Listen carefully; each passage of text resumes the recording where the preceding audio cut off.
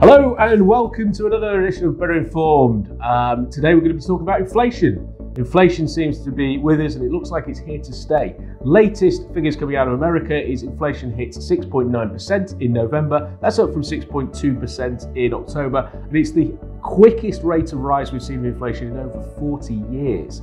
So what does that mean for us? Well, I think first and foremost we understand that that means that our savings, those hard-earned uh, dirhams that are in the bank are at risk of devaluation if we don't do something with them. But a word of warning, and that's beware the snake oil salesman who will try and use the fear of inflation to get their hands on your savings um, and put them in high risk, high fee uh, investment vehicles.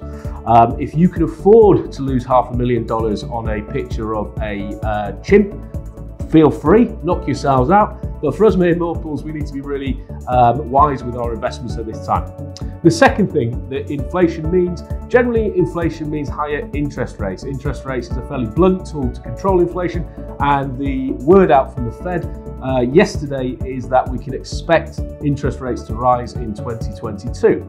So if you are thinking that property is a wise and sensible place to put your money in a high inflation world, which I agree it is, then you need to be aware that mortgage rates are likely to rise next year.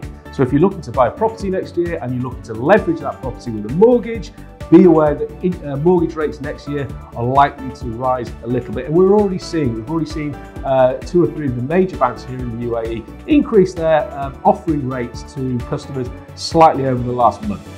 So, my advice if you are thinking as you sit there over the Christmas and holiday season that a property is where you want to put your money in 2022, I wouldn't be waiting around too long. People will start uh, twigging on that inflation is likely to hit interest rates. Interest rates are likely to rise, which will increase that cost of borrowing slightly. So, we will expect to see a bit of an influx of buyers into the market. Make sure you are one of the first of those buyers into the market and you're not shopping with the crowds.